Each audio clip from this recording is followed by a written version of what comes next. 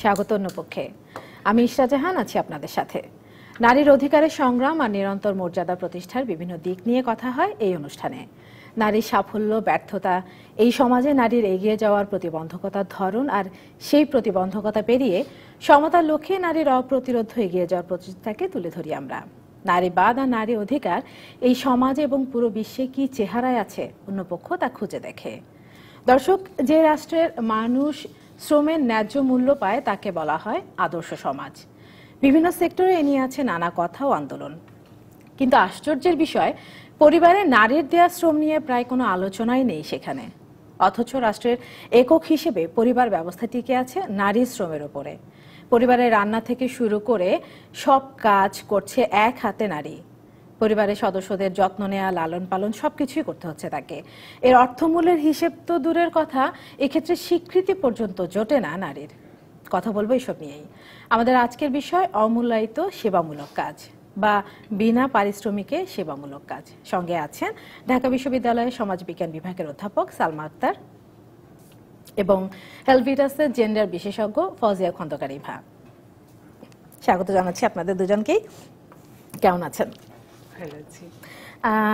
বিনা পারিশ্রমিকে সেবামূলক কাজ বা অমূল্যায়িত সেবামূলক কাজ, আর অথবা আনপেইড কেয়ার ওয়ার্ক বলছি আমরা। বাংলাদেশে কোনো পুরুষকে যদি আমরা জিজ্ঞাসা করি যে, আপনার স্ত্রী কি করেন? তার জবাব যদি হয় এরকম যে, কিছু করেন না। তার মানে তিনি হাউসওয়াইফ বা ঘরে কাজ করেন। এই কিছু করেন না মানে ঘরের কাজটাকে আমরা কিছু করছেন না হিসেবে ধরে নিচ্ছি। সেটা কেন ধরে নিচ্ছি? এটা কেন কোনো কাজ না? সালমা আক্তার মিশন, আপনাকে দিয়ে যদি শুরু করি।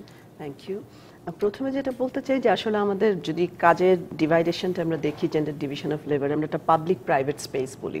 এবং ঘরের কাজটা হচ্ছে প্রাইভেট স্পেস তো পাবলিক স্পেসে যে কাজগুলো নারী করেন সেগুলো কিন্তু ম্যানের মতোই অ্যাজ সাচ অ্যাকসেপ্টেড কিন্তু প্রাইভেট স্পেসটাকে ধরেই নেওয়া হয়েছে যে যেহেতু এটা আনপেইড আসলে ভিজিবল না এই সেক্টরটা টোটালি ইনভিজিবল এবং এটা যে শুধু পুরুষরা বলেন তা কিন্তু না। নারীদেরকেও যদি আমরা জিজ্ঞেস করি আপনি কি করেন? তিনি কিন্তু প্রথমেই বলবেন আমি কিছু করি না।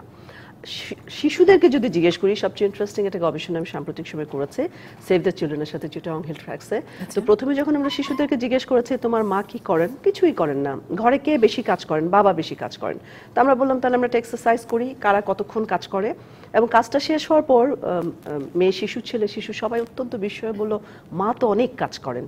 তার মানে এটা ভিজিবল না বলে পেইড না বলে এবং রিকগনাইজ না অফিসিয়ালি সেজন্য কিন্তু এটা টোটালি একটা টেকেন ফর গ্রান্টেড ধরে নেওয়া হয়েছে যে এটা কোনো কাজ না হাউস হোল্ড ওয়ার্কস কিন্তু এইটাই যদি আমরা হায়ার্ড লেবার দিয়ে করি যেটা এখন আমরা করছি যে আমাদের হেল্পিং হ্যান্ডদেরকে দিয়ে অথবা কিন্তু আমরা বাসা ক্লিনিং এর জন্য এখন সার্ভিস হায়ার করছি যে কাজগুলো নারীরা প্রতিদিন করেন আমরা কিন্তু খুব ভিজিবলি দেখতে পাচ্ছি যে দিস ইজ কোয়াইট এক্সপেন্সিভ যদি আওয়ার্সের দিক থেকে চিন্তা করি লং আওয়ার্স এবং যদি টাকার দিক থেকে চিন্তা করি, সেটাও কিন্তু কোয়াইট এক্সপেন্সিভ কিন্তু এই অ্যাকনোলেজমেন্ট এসছে যে দিস টেক্স টাইম অনেক আওয়ার্স কাজ করতে হয় দিস ইজ লেবোরিয়াস কিন্তু নারীরা যখন কাজটা করছে অফিসিয়াল অ্যাকনোলেজমেন্ট আমরা এখনও করি নাই।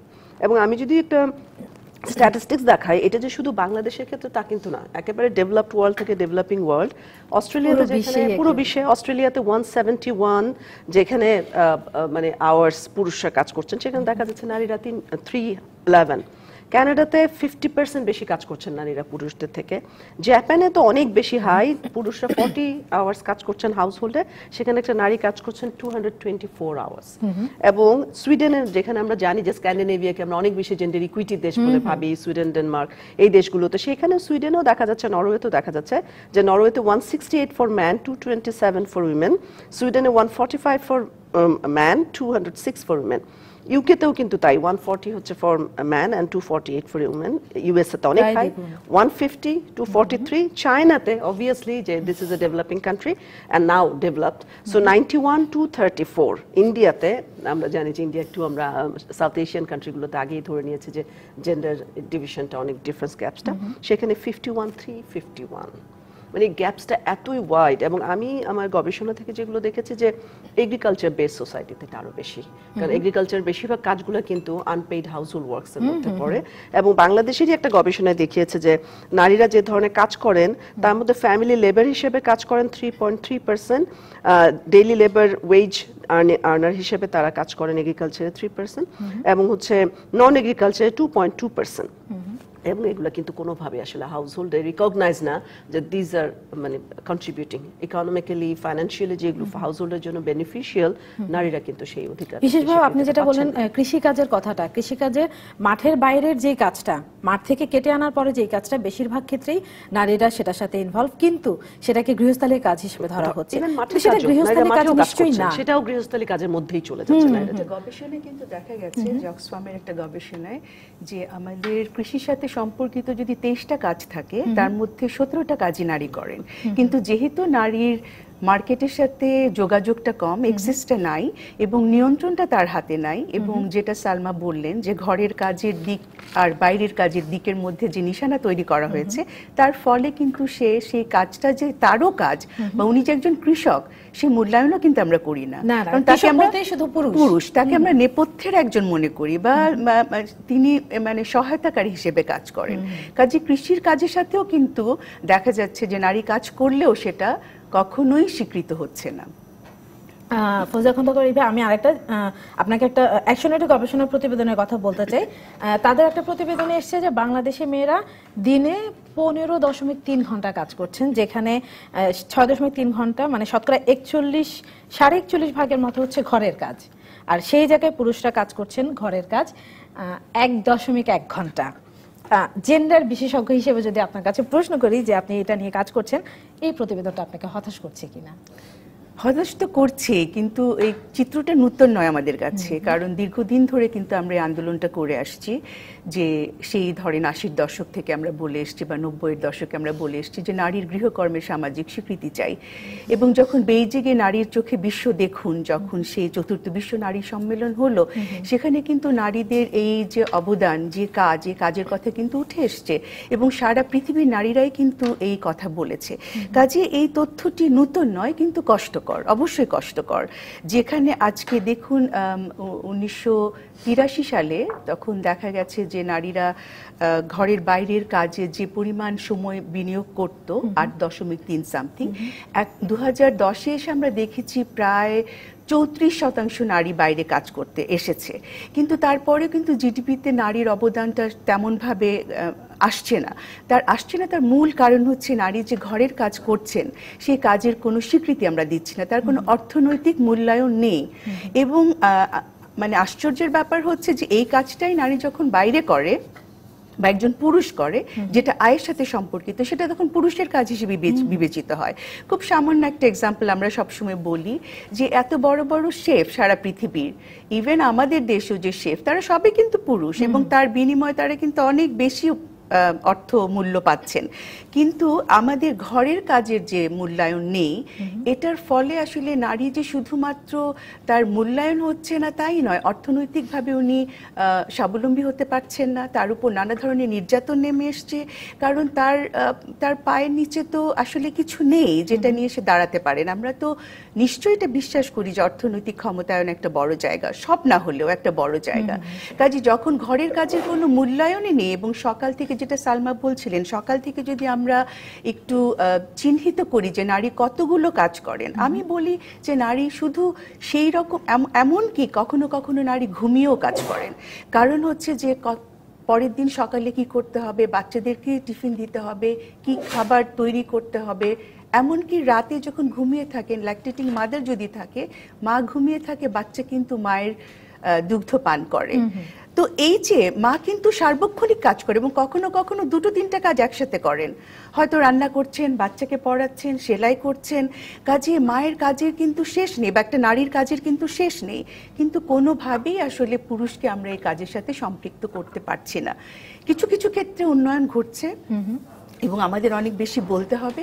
এবং আমি মনে করি যে আমাদের যে ছেলে সন্তান রয়েছে তাদেরকে আমাদেরকে এই কাজের সাথে সম্পৃক্ত করতে হবে। শুধু বললে তো হবে না। কাজের সাথে মানে পরিবার থেকে পরিবার শুরু শুরু করতে হবে। আমরা নিশ্চয়ই আরও। শুনব। একটা ছোট বিরতি নিয়ে আসছি। দর্শক অনুপক্ষে একটা বিরতি নিচ্ছি সঙ্গে থাকুন। বিরতির পর স্বাগত অন্যপক্ষে। আমাদের আজকের বিষয় অমূল্যায়িত সেবামূলক কাজ। সঙ্গে আছেন ঢাকা বিশ্ববিদ্যালয় সমাজ বিজ্ঞান বিভাগের অধ্যাপক সালমা আক্তার ও হেলভিটাসের জেন্ডার বিশেষজ্ঞ ফৌজিয়া খন্দকার আহ, সালমা আক্তার মিশন আপনাকে যদি প্রশ্ন করি যে এই যে আনপেড কেয়ার ওয়ার্কার খুব সুন্দর একটা মানে টার্ম ব্যবহার করা হয়েছে এই যে অমূল্যায়িত কাজের জন্য। তো আমাদের তো কেয়ার শব্দটার সাথে ভালোবাসা শব্দটার একটা খুব ভালো যোগসূত্র আছে। তো নারীকে কি সবাই মানে পরিবারের সবাই শ্রদ্ধাহীন ভাবে ভালোবাসছে? কারণ তার কাজে তো কেউ সাহায্য করতে আসছে না। বিশেষ করে যদি তার পুরুষ সঙ্গীটার কথা বলি। এখানে একটা টার্ম ব্যবহার করতে চাই আমি, সেটা হচ্ছে অল্ট্রুইজম যে সোসাইটিতে সোশিয়োলজিতে এক ধরনের টার্ম আছে ভলান্টারিজম অল্ট্রুইজম এবং সবসময় এক্সপেকটেশনটা এরকমই হচ্ছে যে নারীরাই হচ্ছে অল্ট্রুইজমটাকে ধারণ করবেন। এবং এই ভালোবাসার অবশ্যই ভালোবাসা শ্রদ্ধা এগুলো আমাদের সবার কাছে expected from both the genders কিন্তু যদি ওইটা একটা এক্সপ্লয়টেশনের হাতিয়ার হিসেবে ব্যবহার করা হয় যে তারা সারা জীবনে অল্ট্রুইজমের মধ্যেই থাকবেন যেটা কিন্তু আমরা দেখছি যে আমাদের হেরিডিটিতে যে নারীরা যে কন্ট্রিবিউট করছেন এটা কাউন্টেড হলে নারীরা কিন্তু ওনার হতে পারতেন অনেক প্রপার্টির তারা কিন্তু এই কন্ট্রিবিউশনটা সবসময় ফ্যামিলিতে করে যাচ্ছেন। ফ্যামিলি কিন্তু কোনো কিছু তার নামে পারচেজ করে না। সবকিছু মেল হাউস হোল্ড যিনি ওনার আছেন তার নামেই করা হয়। এবং যখন কোনো একটা ডিভোর্স বা অ্যাবান্ডনের মতো ব্যাপারটা ঘটে তখন কিন্তু আর কেউ এটা মনে রাখে না যে এই কন্ট্রিবিউশনটা তারও ছিল। তখন দেখা গেছে যে নারীকে তোমার কি আছে? এটা তো তোমার না। তাহলে এই ভালোবাসাটা কিন্তু এক ধরনের এক্সপ্লয়টেশনের লেভেলে চলে যায়। নারীরা যখন এই স্যাক্রিফাইসটা করেন এই অল্ট্রিজমটা করেন তারা অনেক হ্যাপিলি করেন। কিন্তু যখন পে ব্যাক করেন সোসাইটি কিন্তু আর তাকে অনার ওই রেসপেক্ট আর দিচ্ছে না পে ব্যাক করছে না। যদি এমন হতো যে আমরা ওয়েস্টে দেখেছি যখন একটা ডিভোর্স হয়ে যায় সেপারেশন হয়ে যায় নারীরা কিন্তু fifty percent of the property সব কিছুর একটা শেয়ার পেয়ে যান বিকজ তিনি সেখানে কন্ট্রিবিউট করেছেন। আমাদের দেশে কিন্তু নারীরা কখনোই এই সুবিধাটা পাচ্ছে না। এটা একদম প্রফেশনাল থেকে একেবারে মানে যারা একদম একেবারে আনস্কিল লেবার কাজ করছেন অথবা ফ্যামিলি বেস লেবারে করছেন। তাহলে আনপেইড শব্দটা ইটসেলফই তো একটা ডিসক্রিমিনেশন যে I am not paying someone the due এবং আমি তাকে ডিপ্রাইভ করছে। তাহলে why we should remain in this situation যেমন একটা মানে ওয়ার্ল্ড ওয়াইড একটা গবেষণা দেখিয়েছে যে যদি আমরা নারীদের হাউস হোল্ড কাজগুলো শুধুমাত্র কাউন্ট করি টেন ট্রিলিয়ন ইউএস ডলারের সমান হবে এভরি ইয়ার এবং সারা পৃথিবীর জিডিপির তেরো পার্সেন্ট কন্ট্রিবিউট করতো। আর আমাদের মতো দেশে দেখিয়েছে দু সালে বাংলাদেশে যদি ভ্যালু করা হয় নারীরা আট ঘণ্টা করে কাজ করেন বাড়িতে এবং পুরুষরা তার তুলনায় মাত্র নব্বই মিনিট করেন তাহলে দেখা যাবে জিডিপি সাতাত্তর পার্সেন্ট নারীদের আনপেইড ওয়ার্ক এটা কিন্তু একই সাথে আমাদের ম্যাক্রো লেভেলের ডেভেলপমেন্টকেও কিন্তু ডিস্টর্ট করছে। বিকজ এই huge amount of work huge amount of transaction of time money and effort আমরা কিন্তু কাউন্ট করছি না আমাদের জিডিপিতে ওয়েস্টেড হচ্ছে। ব্যুরো অফ স্ট্যাটিস্টিক্স একটা স্টাডি করেছিলেন ভলেন্টারিজমের উপরে আহ, সম্ভবত বছর তিনেক চারেক আগে। তো ওনারা যখন নারীদেরকে বাদ দিয়ে স্টাডিটা করেছেন সেটা একরকম এসছে নারীদেরকে ইনক্লুড করে স্টাডি করার পর মোর দেন টেন পার্সেন্টেরও বেশি চলে গেছে যে ভলেন্টারিজম অ্যাক্টিভিটিস নারীরা করছে। এবং এটা একটা বড় অসুবিধা যেটা আমি একটু আগে বললাম যে অল্ট্রুইজমটা রিটার্ন পাচ্ছেন না নারীরা। বা যখন রিটার্ন পাচ্ছেন বেসিক্যালি এটা আসলে এক্সপ্লয়টেশনের লেভেলে একই প্রশ্ন যদি আমি খুব ফজল খন্দকারী বা আপনাকে করি পুরুষ সংসার চালানোর জন্য টাকা উপার্জন করেন কিন্তু নারী ঘরের কাজ করেন। কিন্তু এখন তো নারী বাইরেও বের হচ্ছেন। কিন্তু নারী বাইরেও কাজ করছে আর এখন দেখা যাচ্ছে নারীর উপর দ্বিগুণ চাপ চলে আসছে। বাইরের কাজটাও করতে হচ্ছে তাকে ঘরের কাজটাও করতে হচ্ছে। তাহলে মানে নার তখন আর নিয়মের অন্যথা হচ্ছে না কেন? মানে যেটা হলো এখনও যেটা যে কথাটা বলতে চাই যেটা দিয়ে আমরা শুরু করেছিলাম যে পাবলিক এবং প্রাইভেট যে আমাদের যে কনোটেশনটা রয়েছে যে নারী হচ্ছে ঘরের কাজ করবেন এবং ঘরের কাজ করার জন্য কিন্তু আমার স্কিল তেমন তৈরি হচ্ছে না। কিন্তু আমি যখন বাইরের কাজ করব সেটার জন্য কিন্তু আমার স্কিল তৈরি করা হচ্ছে। কারণ বাইরের জগতের জন্য আমাকে সামান্য হলেও এডুকেটেড হতে হচ্ছে। যদি আমি সামান্য কাজও করি আমার যেটা হয়েছে যে আমার দক্ষতা বৃদ্ধি হচ্ছে আমার প্রশিক্ষণ হচ্ছে কিন্তু ঘরের কাজের জন্য আমার কিছুই নেই। ঘরের কাজ আমরা এমনি এমনি শিখি এবং এটা কোনো কাজই নয় তাই তো? এবং আমি মনে করি যে জিডিপিতে এটা তো সম্পৃক্ত হওয়া উচিতই কিন্তু তার চাইতেও বড় কথা যেটা আমার অধিকারের সাথে সম্পর্কিত এটা আমার মর্যাদার সাথে সম্পর্কিত এটা আমার আয়ের সাথে সম্পর্কিত। এবং যেটা সালমা বলছিলেন যে আমার এটা সম্পত্তির সাথে সম্পর্কিত। কারণ হচ্ছে আমরা যদি একটা স্ট্যাটিস্টিক্স দেখি যে সারা পৃথিবীতে নারী কাজ করছে প্রায় পঁয়ষট্টি ভাগ আর নারীর আয় হচ্ছে মাত্র দশ ভাগ। এবং সম্পত্তিতে নারীর যে অভিগম্যতা সেটা হচ্ছে এক ভাগ। তাহলে সারা পৃথিবীতে নারী যে কাজ করছে পঁয়ষট্টি ভাগ তাহলে তার সম্পদ তো নিশ্চয়ই পঁয়ষট্টি ভাগই থাকা উচিত ছিল না হলে ষাট ভাগ থাকা উচিত ছিল। সেখানে এক ভাগ এটাও কিন্তু আমার আমাদের কথা না মানব উন্নয়ন প্রতিবেদনের কথা যেটা ইউএনডিপি করে থাকেন অনেক আগে। তো করে থাকেন। কাজেই দেখা যাচ্ছে যে এই কাজটা যেহেতু আমরা আপনি যে প্রশ্নটা করেছেন যেহেতু নারীর কাজ হচ্ছে ঘরের কাজই এবং আমাদের মধ্যেও কিন্তু এই কিছুটা এইটা রয়ে গেছে এই দৈত্যটাতে রয়ে গেছে আমরা ঘরে বাইরে সমান দক্ষ হতে চাইছি এখন।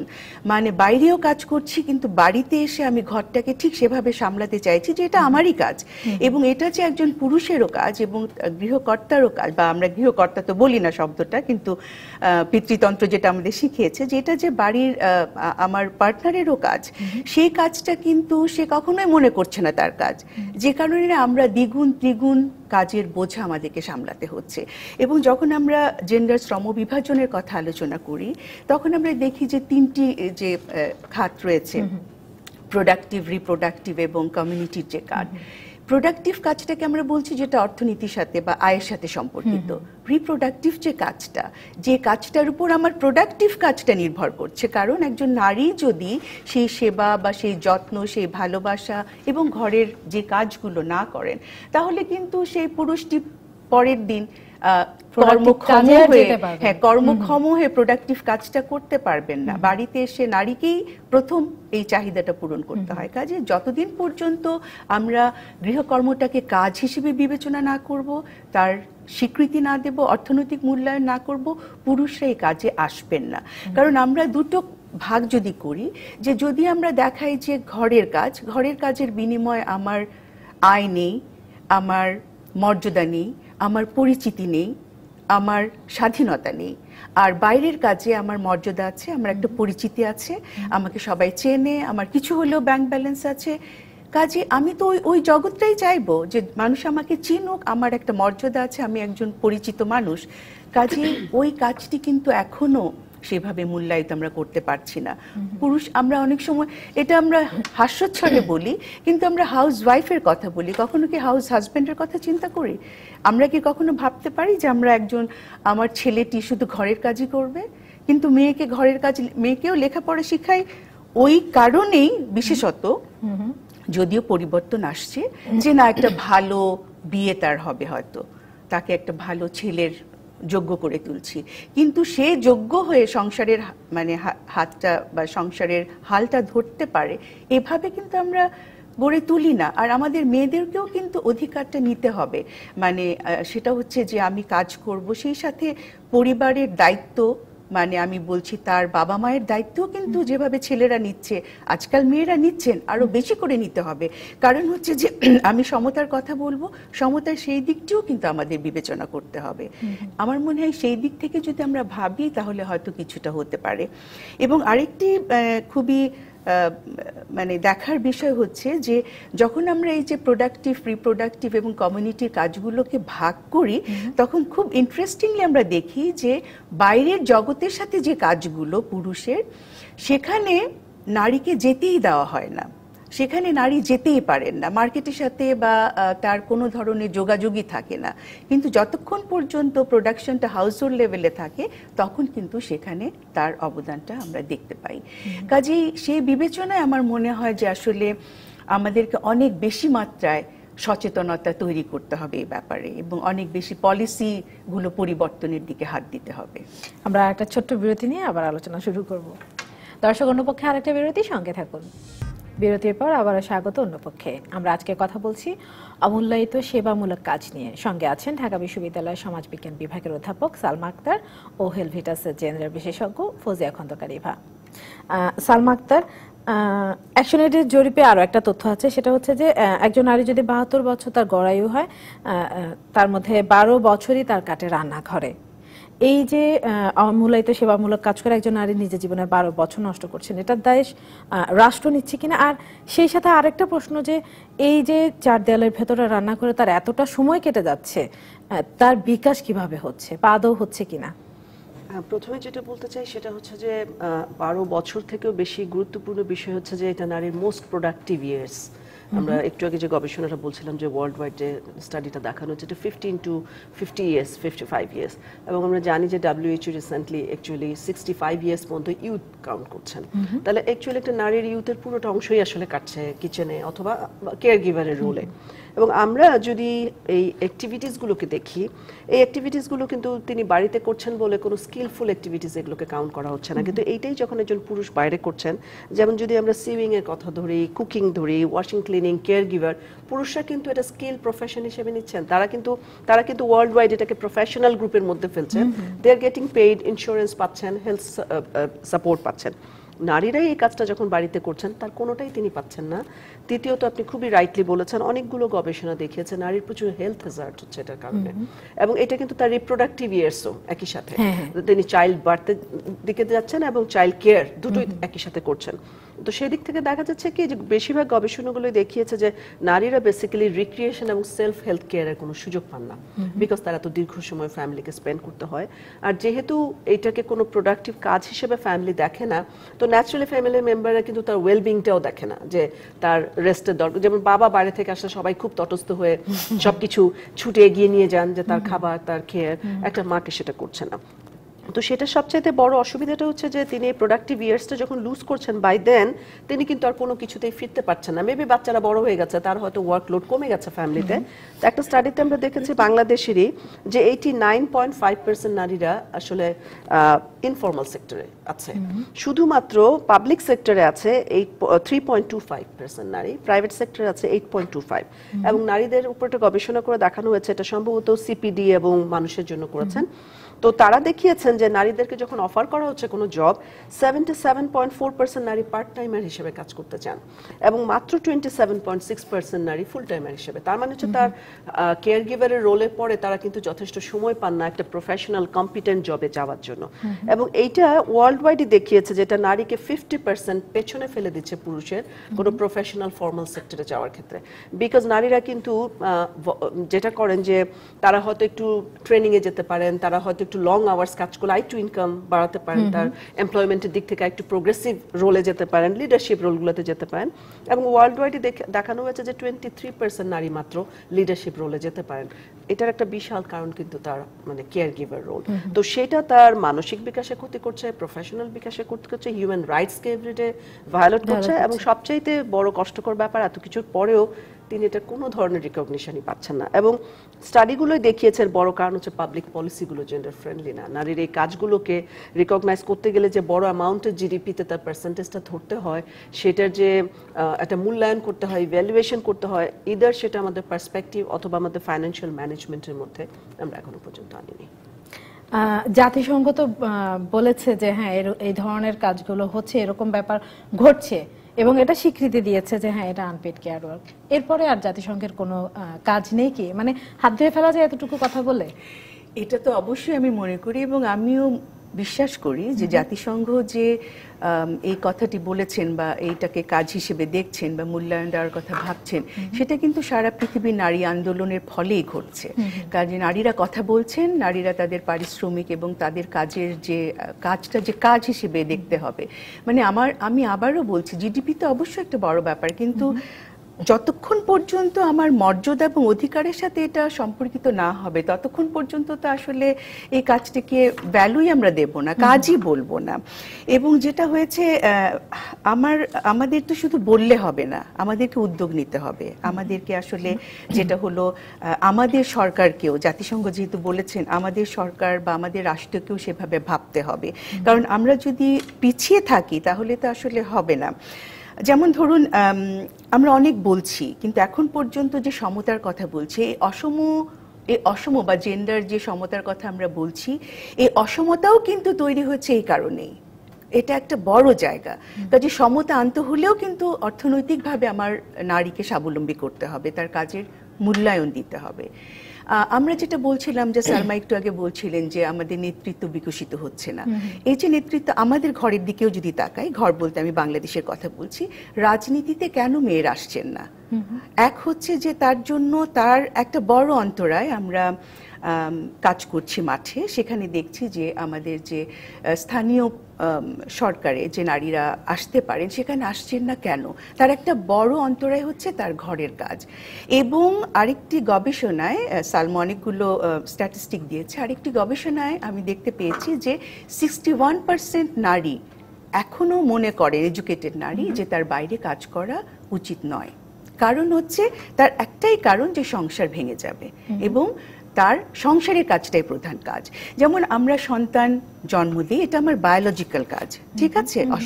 কিন্তু ঘরের কাজ তো আমার বায়োলজিক্যাল কাজ নয় এটা আমার জৈবিক কাজ নয় এই কাজটি যে কেউ করতে পারে। সন্তানকে বড় করা পরিবারের অন্য সদস্যদের দেখাশোনা করা এই কাজটি সবাই করতে পারে। কিন্তু যাতে নারীকেই আমরা এই কাজটি দিয়ে রাখতে পারি এটি একটি রাজনৈতিক অংশ হিসেবেও আমি দেখি কিন্তু। কারণ নারীকে আমরা এই গণ্ডির ভিতরে রাখতে চাই।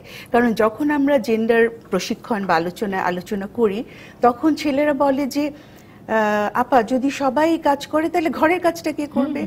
কাজে ওই যে ঘরের কাজ কে করবে এবং ঘরের কাজের বিনিময়ে যে কোনো অর্থনৈতিক মূল্যায়ন বা সামাজিক স্বীকৃতি নাই এটা কিন্তু পুরুষের মাথায়ও চলে আসে। এবং সে কারণে দেখা যায় কেউ ওই কাজটা করতে আগ্রহী হয় না। কিন্তু এই কাজটি যদি অর্থনৈতিকভাবে সামাজিকভাবে মূল্যায়িত হতো তাহলে পুরুষও কিন্তু আগ্রহী হয়ে উঠতো। কারণ হচ্ছে যে আমার স্বাধীনতার সাথে আমার আয়টা সম্পর্কিত। কাজেই জাতিসংঘের আমার কাছে মনে হয় যে শুধু কথার কথা হিসেবে এটাকে রাখলে চলবে না। এটার জন্য যে যে যে ধরনের পলিসি ইনস্ট্রুমেন্ট করা দরকার এবং তারাই করতে পারেন। এখন ইউএন উইমেন আছেন তারাই করতে পারে এবং তারা অগ্রণী ভূমিকা নিচ্ছেনও। এবং আমার মনে হয় যে আমাদের সবচেয়ে যেটা আমি বারবার বলার চেষ্টা করছি আমরা পুরুষের কাজ বা নারীর কাজ বলে কোনো কাজকে দেখতে চাই না। কাজ তো কাজই। যে কাজটা যেই করুন এবং যে দক্ষতার সাথেই করুন যে যেটা ভালো লাগে আমার সেই চয়েসটা আছে কিনা। যদি একজন একজন নারী মনে করেন যে তিনি স্বেচ্ছায় ঘরের কাজ করবেন, তাকে সেটা করতে দেওয়াতে আমাদের কোনো আপত্তি নেই। এবং ঘরের কাজ করছেন বলে উনি অবমূল্যায়িত না, আমরা মনে করি তার কন্ট্রিবিউশন অনেক অনেক বেশি। কাজে কিন্তু যিনি করতে চাইছেন না, তাকে বাধ্য করা, এমন অনেক জায়গায় আমরা দেখেছি যারা মেডিকেল প্রফেশনে পড়াশোনা করেছেন ইঞ্জিনিয়ারিংয়ে পড়েছেন কিংবা ভালো ভালো রেজাল্ট করেছেন তারা বিয়ের পরে চাকরি ছেড়ে দিচ্ছেন। শুধুমাত্র সংসার রক্ষা করতে হবে এবং শুধুমাত্র ক্ষতিগ্রস্ত হচ্ছে। দেশ ক্ষতিগ্রস্ত হচ্ছে জিডিপিতে আসছে না তার দক্ষতাটা কাজে লাগছে না। এত বছর সে লেখাপড়া করেছে এবং দরিদ্র একটা দেশে লেখাপড়া করার পরে সেই কাজটা সে করছেন না। এই যে ক্ষতিটা, এটা কিন্তু সংসারের পুরুষরাও কিন্তু এটা ভাবছেন না, এটা একটা আশ্চর্যের ব্যাপার মনে হয়। এবং পরিবারের যে অন্যান্য শ্বশুর, শাশুড়ি বা বাবা মা রয়েছেন, তাদেরকেও তো ভাবতে হবে যে আসলে একটি পুত্র সন্তান এবং কন্যা সন্তান একই রকম যোগ্যতা অর্জন করে কাজ করছে এবং মেয়েরা এখন যেহেতু সুযোগ পাচ্ছে, অনেক ভালো ব্রিলিয়ান্ট রেজাল্ট করছে। কাজে ব্রিলিয়ান্ট রেজাল্ট করে তাদেরকে আবার ঘরের চার দেয়ালে আবদ্ধ করে রাখা। এবং আপনি যেটা বলছিলেন যে একটু আগে একটা প্রশ্ন বলছিলেন যে একটি মেয়ের জীবনের বারো বছর। আমি তো বলব বারো বছর নয়, তার জীবনের প্রিয়দাংশ সময় সংসারের মধ্যে কাটে। এবং যেটা হয়েছে এবং কোন ঘরটায় কাটে তার?